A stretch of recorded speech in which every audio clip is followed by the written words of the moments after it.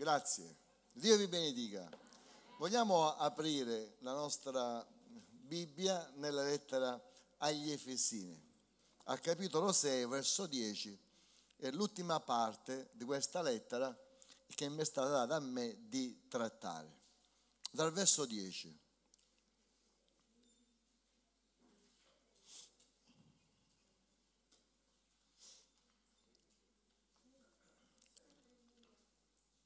Del resto, fratelli miei, fortificatevi nel Signore e nella forza della sua potenza.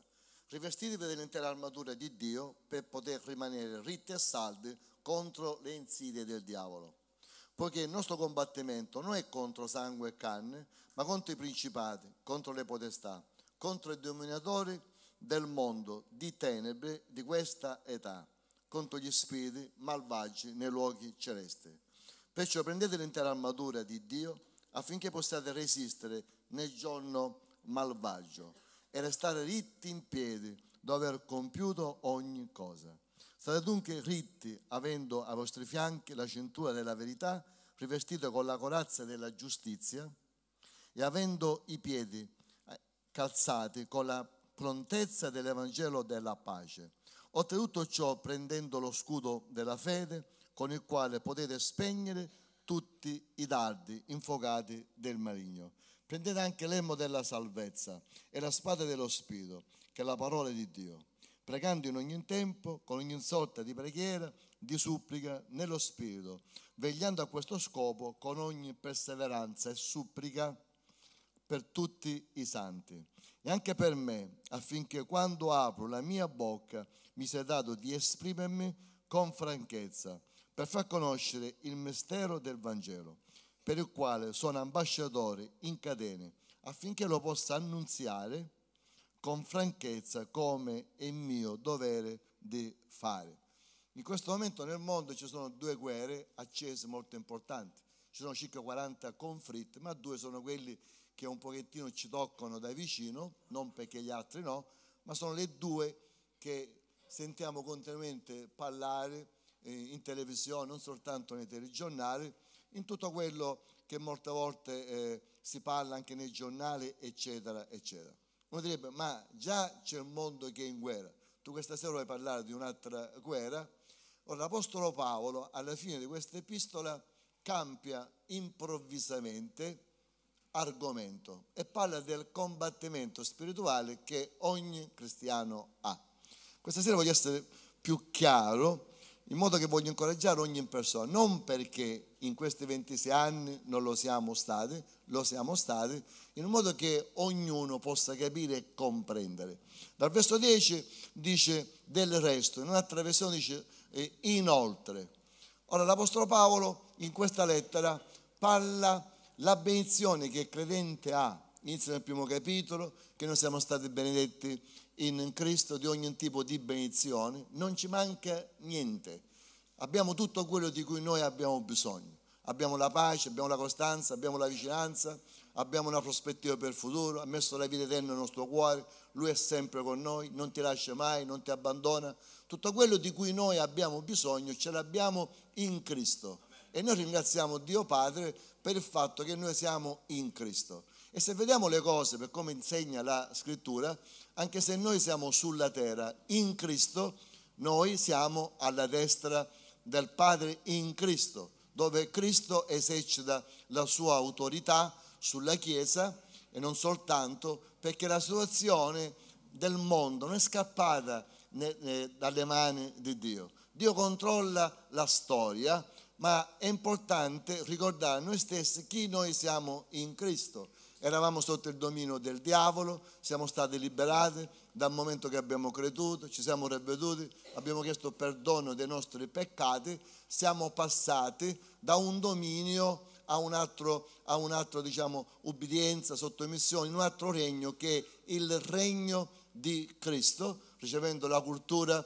del regno di Cristo, ricevendo tutto quello di cui noi abbiamo bisogno, abbiamo la grazia, siamo stati salvati per questa grazia, non per opere, quindi noi non abbiamo dovuto fare niente per impressionare Dio, abbiamo solo dovuto credere che Gesù Cristo è morto per noi, per ricevere questa salvezza, per grazia mediante la fede. Nel momento in cui siamo salvati lavoriamo per Dio, è quello che noi abbiamo sempre fatto, incoraggiamo gli altri eh, che, eh, che, devono, che devono fare, dei due popoli ha fatto un popolo, c'erano dei misteri che era difficile per l'uomo poterli capire e leggere dentro, ma Dio nella sua misericordia schiude questi misteri, rivela qual era il proposito, il cuore, il cuore di Dio.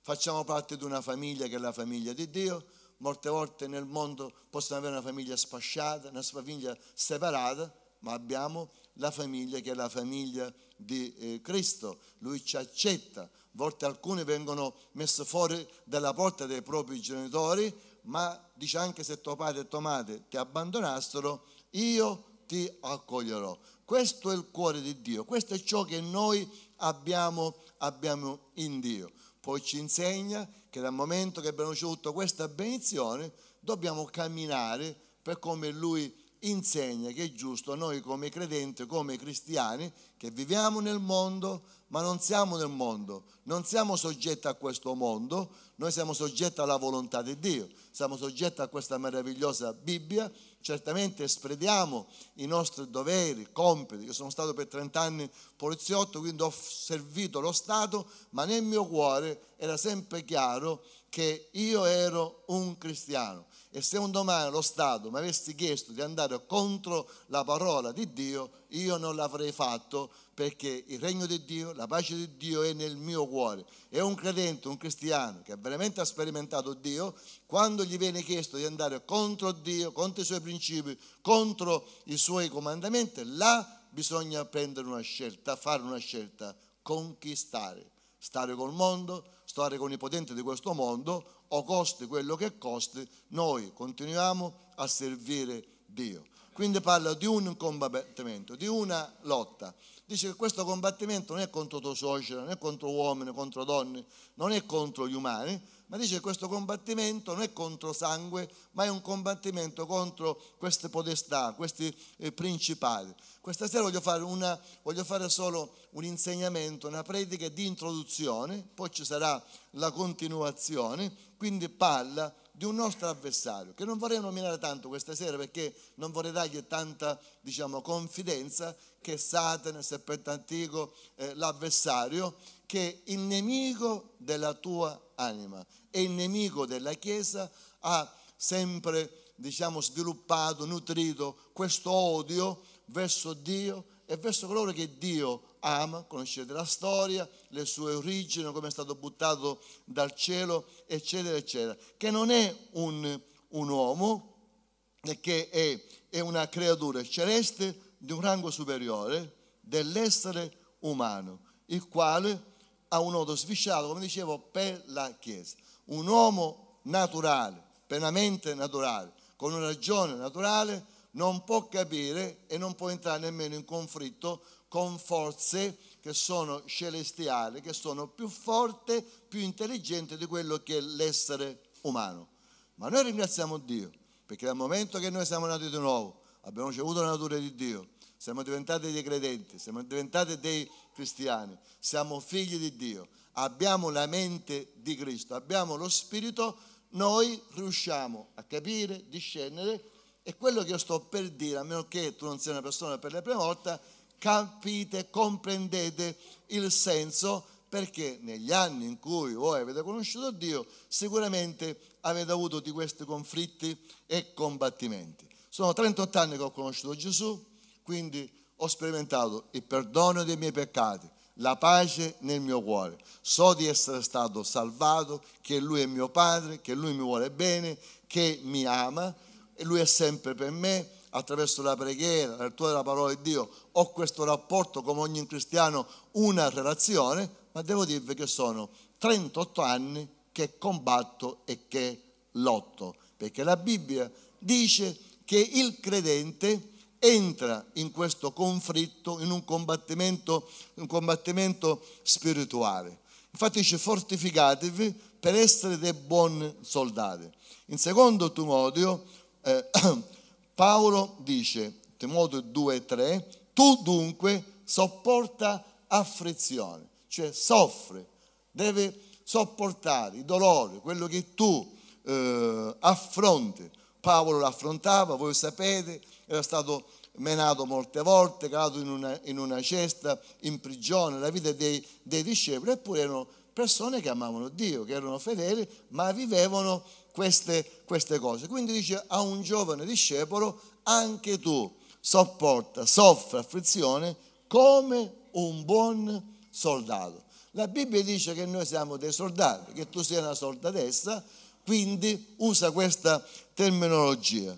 Poi dice nessuno che presta servizio come soldato si mischia nelle faccende della vita se vuole piacere a colui che lo ha arruolato.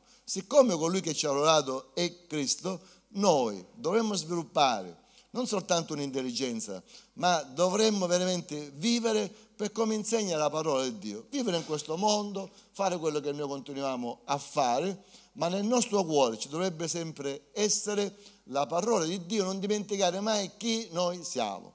Quindi siamo dei soldati, noi combattiamo, ma abbiamo anche un capitano che è Gesù Cristo. Combattiamo contro il male, combattiamo contro l'avversario, ma c'è un capitano che è il nostro Signore.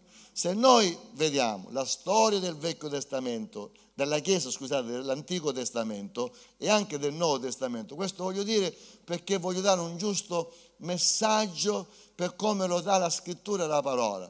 Vediamo nell'Antico Testamento molte guerre, molti conflitti, eh, c'è stato un tempo in cui Israele vinceva, combatteva, distruggeva i suoi nemici, e là erano uomini contro uomini, ma quello era il popolo di Dio, perché i paesi che erano attorno a Israele hanno sempre cercato di annientare il suo popolo. Quindi anche quello che noi vediamo oggi, Hamas, la storia è sempre la stessa, perché anche questi cioè vorrebbero che Israele non esistesse. Ora non entro nelle polemiche che purtroppo ci sono nelle università, eh, teniamoci distante, lasciamo che la Bibbia parli. Quindi anche nell'Antico Testamento la Chiesa combatte, la Chiesa molte volte vince, molte volte perde quando non è ubbidiente, sottomessa alla volontà di Dio. Se noi andiamo nel Nuovo Testamento e consideriamo gli apostoli, tutti sono morti, tranne Giovanni da martiri. La domanda che io vi faccio, erano apostoli? Sì. Avevano ricevuto un mandato? Sì. Servivano Dio? Sì. E come mai? Erano apostoli, servivano Dio, hanno dato la loro vita. Molti di questi, non soltanto della Chiesa, sono stati costretti ad abbandonare le loro case, i loro averi, le loro proprietà e andare via solo per uno scopo, cioè per un motivo, che era quello che amavano Dio potevano non amare Dio, rimanere nella loro proprietà, nella loro casa, ma invece subire la persecuzione se volevano continuare a servire Dio. E siccome hanno scelto Dio c'è stata questa persecuzione fatta dall'Apostolo Paolo, non soltanto Paolo parla delle dodici tribù che erano state disperse, li incoraggia che eh, Dio aveva dato una speranza viva, che era la speranza della vita eterna. In poche parole, non vi scoraggiate per quello che voi state vivendo, che state passando. Anche attraverso i secoli, la Chiesa a volte ha pagato un prezzo non indifferente. Nerone li cospengeva di pesce, gli dava fuoco, faceva le feste, i festini e i cristiani gli davano luce. Quindi immaginate la sofferenza di queste persone. Domanda, erano cristiani? Sì. Amavano Gesù? Sì ma vissero questa situazione. Dice agli ebrei che molti sono morti di spada, altri sono stati legati a, ai cavalli e quindi un cavallo di ramo da un lato, un altro lato e venivano proprio squartati, altri venivano segati, come Isaia è stato segato. Domanda, erano servi di Dio? Sì. Amavano Dio? Sì. Hanno sofferto? Sì. Quello che Dio vuole dire, non si può essere cristiani, non possiamo servire Dio se non passiamo anche attraverso la sofferenza, se non padiamo. Quindi voglio dire che la guerra tra Dio e Satana, tra il regno di Dio e il regno di Satana è vinta perché la scrittura dice che Cristo lo ha vinto. Nell'Apocalisse dice che Cristo ritornerà con miride e miride di angeli, prima lo legherà a Satana, quindi lui ha potere su questa, sulla sua forza, sul suo, sul suo potere, ma dice che alla fine subirà un giudizio lui e tutti coloro che gli andranno, che gli andranno dietro. Quindi la guerra è vinta, però molte volte si perdono delle battaglie e a volte noi passiamo non soltanto momenti difficili, ci sono momenti in cui ci sentiamo sconfitti per quello che noi viviamo, passiamo, eccetera, eccetera, eccetera. Ora questo non è una sconfitta. Questa sera è entrata, è entrata Graziella con eh, sua figlia Antonella no? sulla sedia a rotelle. Uno se la guarda direbbe, ma come? Una cristiana ama, ama Gesù, ama Dio, chissà quante volte ha pregato su questa ragazza e questa è la sua condizione. E potremmo menzionare tante condizioni che viviamo all'interno della PDS. E verrebbe molte volte di dire, ma dov'è la tua fede? Dov'è Dio? Come mai eh, noi eh, viviamo queste situazioni? Noi viviamo queste situazioni. E non è che tu, Graziello o altri vivono perché sono meno voluti bene da Dio. Perché a volte ci, ci troviamo, come stasera abbiamo sentito una testimonianza, che uno viene avanti e testimonia, Dio mi ha guarito. E tu hai una malattia, hai una situazione che ancora oggi non hai ricevuto eh, guarigione. Io non mi sento di dire che la tua fede non è sufficiente per ricevere guarigione. Ci sono cose che non capiremo, non comprenderemo mai come gli apostoli, molti cristiani, sono morti da martiri, hanno dovuto pagare un prezzo. Ma una cosa dice la storia, che il sangue dei martiri non ha indebolito la Chiesa, ha rafforzato la Chiesa. Quando i nemici della Chiesa pensavano cioè, di sconfiggere la Chiesa, cioè accendendo delle battaglie cruente verso il popolo di Dio, come per esempio hanno sempre cercato di distruggere la Bibbia, ma ringraziamo Dio che di Bibbia ne abbiamo perché Dio non l'ha mai permesso. Ma dobbiamo guardare le cose un po' in faccia. E se noi li guardiamo dal punto di vista biblico della parola, della parola di Dio, eh, noi supereremo le difficoltà, lo scoraggiamento e quando passiamo per i deserti. Il deserto è necessario. Come fa Dio a forgiarti, a prepararti, a potenziare la tua vita se tu non passi per il deserto?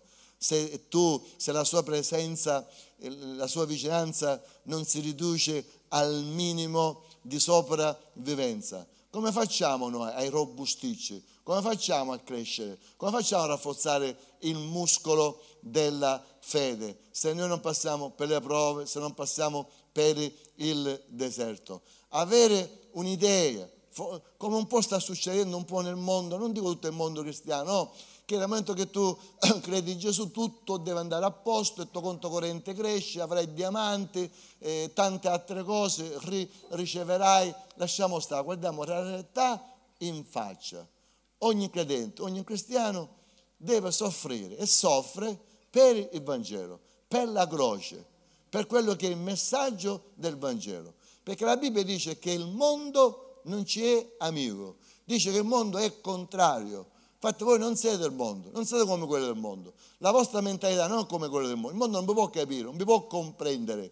No? Perché il mondo, per la gente del mondo, tutto passa sotto eh, quel ponte. Tu puoi, puoi, fare tante cose, eccetera, eccetera. Se, eh, cioè, il mondo eh, eh, cioè, è veramente un mondo al contrario, però per molti va bene così questo mondo, voglio dire, al contrario tu puoi in un'esibizione vestirti dal diavolo, essere una satanista, no? come è stata questa nell'Eurofestival, Bambi Tag, cioè manifesta veramente quello che è la tua cultura e quello che tu credi, che manifestamente dice che quando lei è ispirata per le, per le sue canzoni fa dei sortileggi, cioè l'opera demoniaca satanica, cioè agisce in quello che diciamo, di quello che il suo lavoro, il canto è.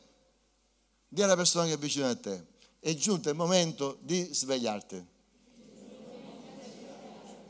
È giunto il momento di svegliarci e di guardare la realtà per come insegna la scrittura e quello che dice la scrittura. Ecco perché Paolo dice, godetevi tutto quello che è Cristo per voi, ma state attenti che c'è un avversario che vuole togliere la pace, la gioia, la grazia, questa benedizione, la sua estensione, il fatto che siete figli di Dio, che fate parte del suo popolo, c'è qualcuno che vuole togliere e vuole rubare tutto, tutto questo, perché l'avversario ci vuole farti guerra, vuole spaventarti, vuole circondarti, vuole perseguitarti, vuole deprimerti, vuole farti ammalare, vuole distruggere il tuo matrimonio, vuole distruggere la tua famiglia, vuole farti vivere nella povertà. Nonostante ciò, noi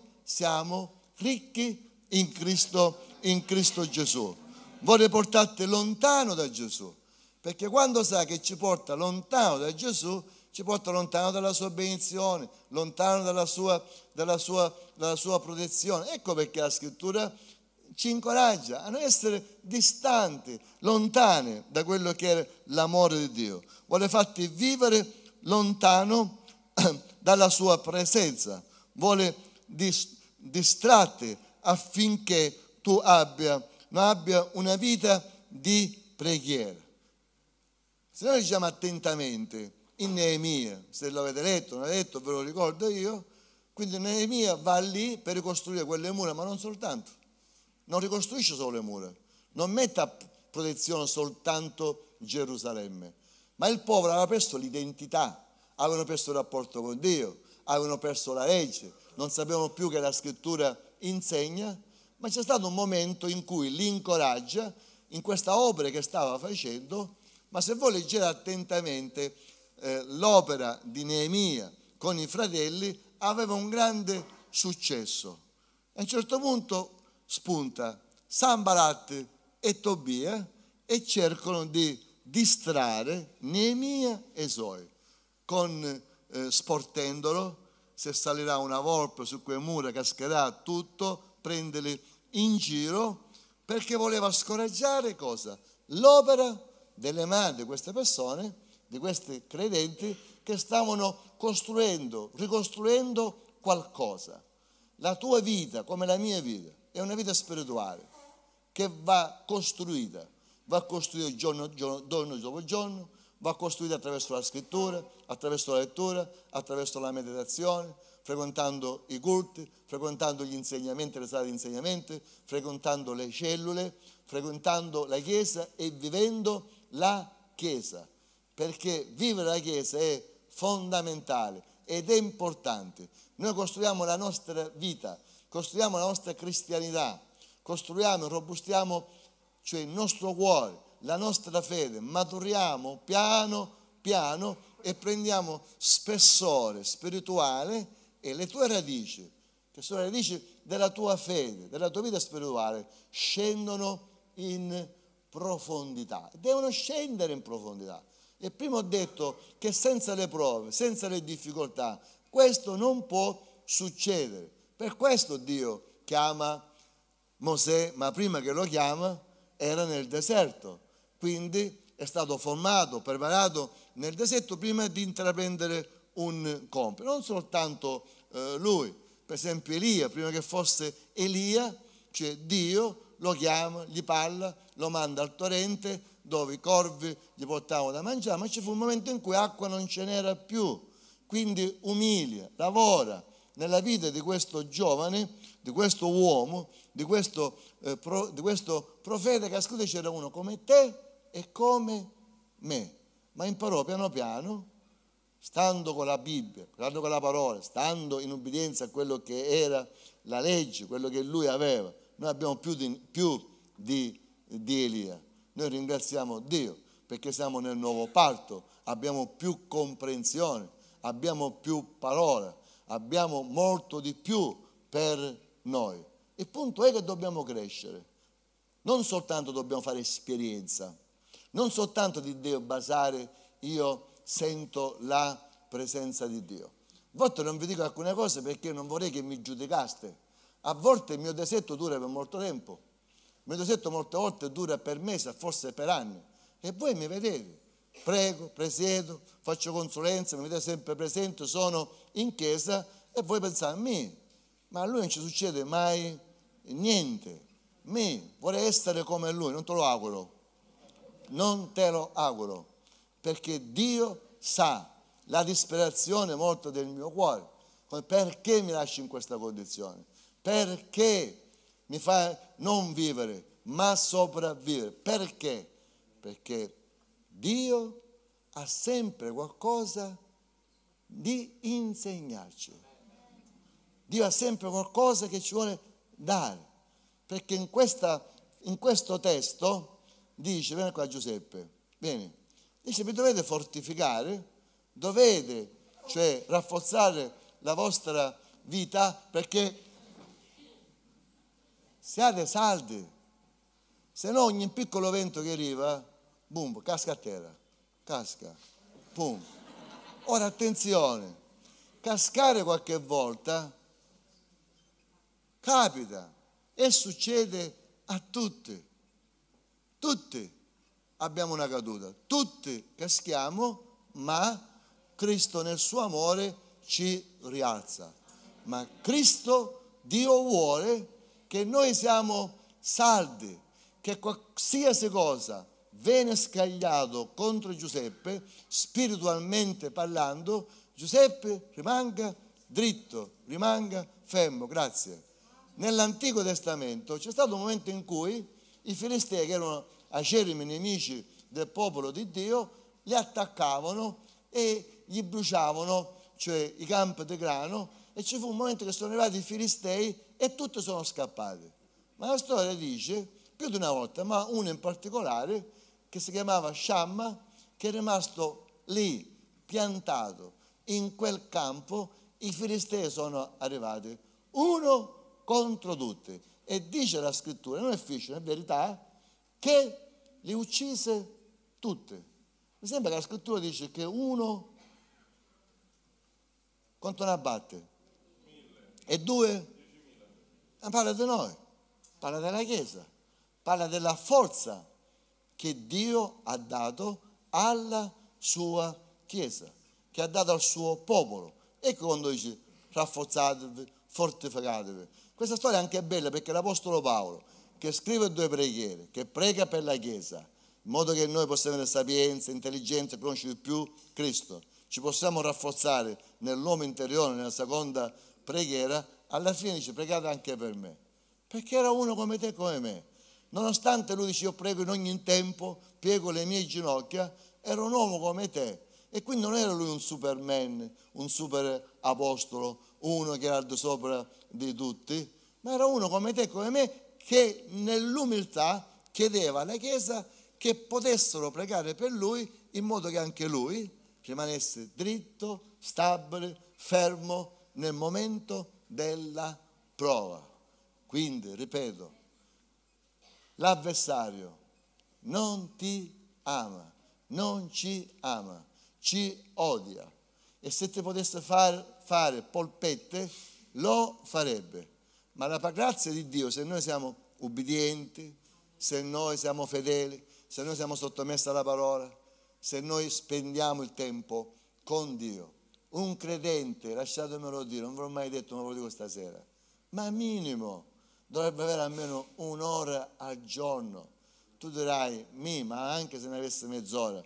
Io vi dico, ma anche se tutti i credenti ne avessero dieci minuti, tempo di fermarsi e stare con Dio, e stare con la parola, attingere in questo pozzo che è senza un fondo, che è meraviglioso. Eh, la parola di Dio possiamo descriverla in tanti modi, ma non sarà mai sufficiente per descrivere questa, questa forza. Quindi lui non ti ama, ti vuole distruggere, vuole distruggere il tuo matrimonio, vuole distruggere il rapporto tra te e i tuoi figli, vuole creare separazione nella Chiesa, ci vorrebbe mettere contrario l'uno verso l'altro, perché dice stare alle insidie. Le insidie dell'avversario. Un'insidia non è una cosa che tu riesci a vedere a occhio subito nudo. L'insidia è una cosa che entra, si infila piano, piano, piano, che non te ne accorgi. In molte circostanze le insidie sono stati quelli che si sono presentati eh, amorevolmente, che volevano prendere cura dei vecchietti, eh, li allisciavano un pochettino fino a quando poi si facevano fare là tutto quello che avevano. E eh sì, era la realtà, no? E così. E dopo che ha firmato, arrivederci. L'altra sera in televisione una, eh, un, non dico la nazionalità, se no finisce che dipingiamo, è 700 mila euro si è portato e poveretto si è trovato nudo, povero, povero, perché? Perché questa donna è stata insidiosa, si è presentata non dicendo io sono, sono un demone, no, perché mi sembra che la scrittura dice che Satana si veste di angelo di luce.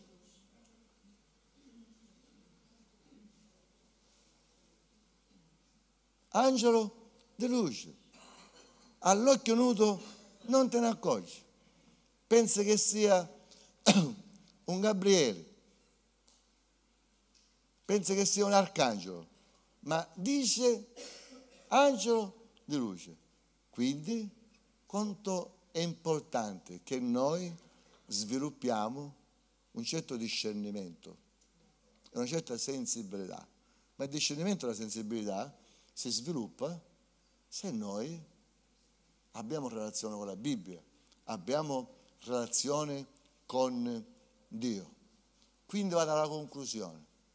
Abbiamo un nemico, abbiamo un avversario che non ci vuole bene, che se ci trovasse che noi siamo a terra, sanguinante, e noi volessimo, lo vedessimo, e noi gli dicessimo, abbi pietà di, di, di me, lui si avvicina ridendo e quando è vicino a te ti guarda negli occhi se fosse possibile.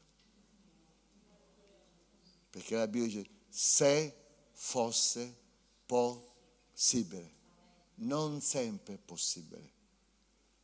Per Giobbe lo è stato perché Dio glielo ha permesso. E a volte noi siamo provati, a volte siamo lottati, a volte noi ne lamentiamo, a volte ne prendiamo con noi stessi, ce la prendiamo con il mondo, ce la prendiamo con tutto quello che è attorno a noi perché non guardiamo le cose per come dovrebbero essere.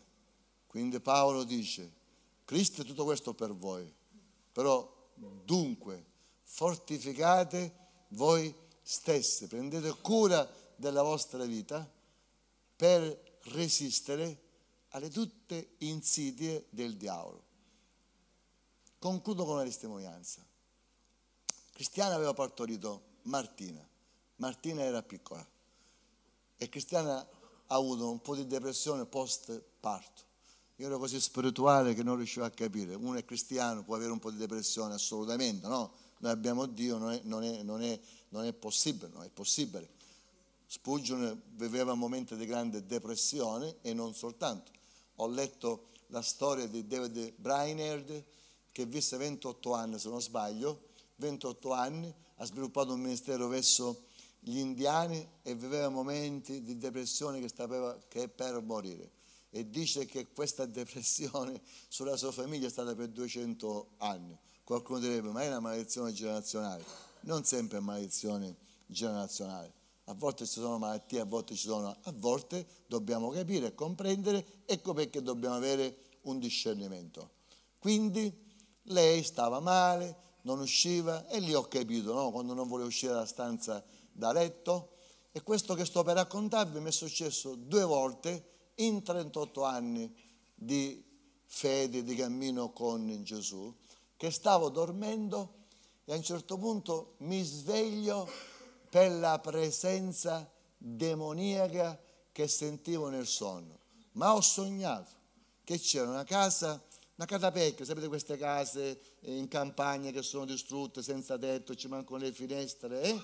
e c'era Cristiana con Martina in questa posizione, in questa posizione, che erano disperati, e il diavolo mi ha detto, io distruggerò e ucciderò la tua famiglia. E mi sveglio. A Cristiano ho detto niente, perché siccome lei già viveva in quella situazione, non la volevo condizionare. Allora, la Bibbia che cosa dice? Che il nostro combattimento non è contro carne e sangue. Parla di che cosa? Di un combattimento. Due pugili combattono e sono dove? Su un ring. Quindi si sfidano. O li dai o li prendi. O reagisci o cappa o. Quindi o dai, cioè o tu eserciti un'offensiva, no? O altrimenti subisci. Quindi ho iniziato a pregare a digiunare per tre giorni, fino a quando ho sentito che quella presenza demoniaca è scomparsa da casa mia. E a Cristiana gliel'ho detto dopo tempo, molto tempo. E so se vi intervistaste, voi, molti di voi dovete, eh, raccontereste anche le vostre testimonianze. Ok, ora dobbiamo realizzare, capire, e non soltanto, ma dobbiamo essere formati discevolate a reagire quando ci troviamo in determinate situazioni. Quando prego Gesù, lo ringrazio per la sua pace, per il suo amore. Grazie che sei mio Dio, sei mio Padre, la gratitudine nel mio cuore. Se ho bisogno di qualcosa, dico Signore, ho bisogno di questo, tu sei mio Padre, mi darai, aspetto e chiedo. Se lo lodo, lo lodo, adoro. Ci sono diversi tipi di preghiera ma c'è un momento in cui dobbiamo avere la tuta mimetica e dobbiamo andare contro potestà e principali. Ed è quello che sto cercando con i vostri figli, di questa classe di 20 ragazzi, che sto da otto mesi stando con lui, piano piano, grazie a Dio stanno avendo i risultati, di aiutarli a discevolarli. Dice Neemia, lottate, combattete per i vostri figli, per la vostra famiglia e per tutto quello che è vostro. È come se dicesse reclamate quello che Dio vi ha dato.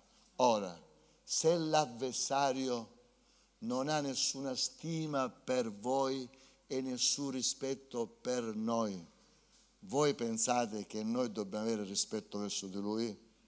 Ora, non che noi dobbiamo usare parole, perché mi sembra che l'arcangelo Michele disse ti sgridi Dio quando lottò per il colpo di Mosè.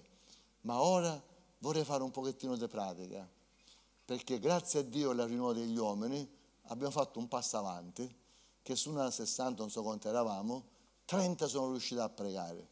Quindi c'è stato qualcosa di importante e io penso che la prossima volta sarà ancora di più, però avrete anche voi la vostra pizza, eh, non so se adesso 9, 10 di, di, di giugno, e quindi anche voi vi potete esercitare.